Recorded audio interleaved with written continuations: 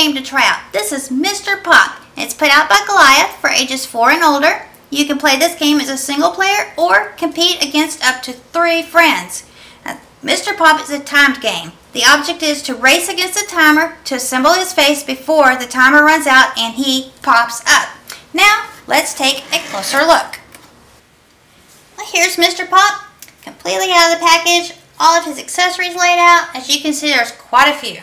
We have a couple different styles of eyes, noses, different styles of ears. There's a lot going on. It's very easy to assemble this game.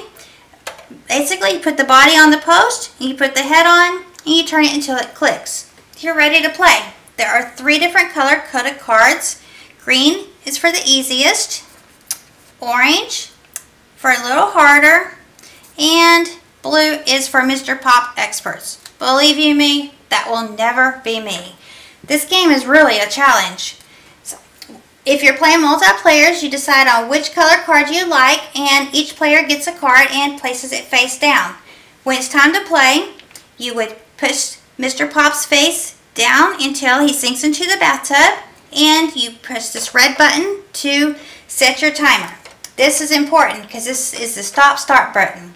So you press it down like that and you can turn it and it holds your timer into place. And when you're ready to go you press it. And if you assemble all of Mr. Pop's face before the timer runs out you press the timer you're the winner. You get to keep your card if he runs out of time he will pop up. Everything goes flying off and you do not get to keep your card. The person with the most cards is the winner. So I'll go ahead and show you how to assemble it really quick on the back you can see there's a space for each post you'll know which way to go. Just put that on. They do fit rather loosely. That's important because when he pops up they go flying. There's also a challenge to this.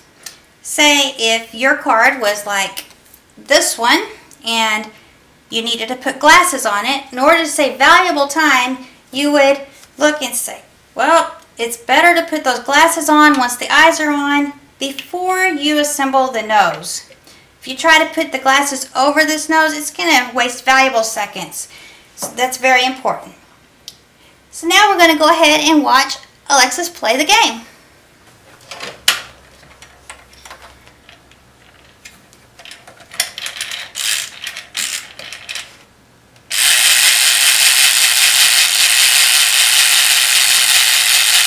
Mommy.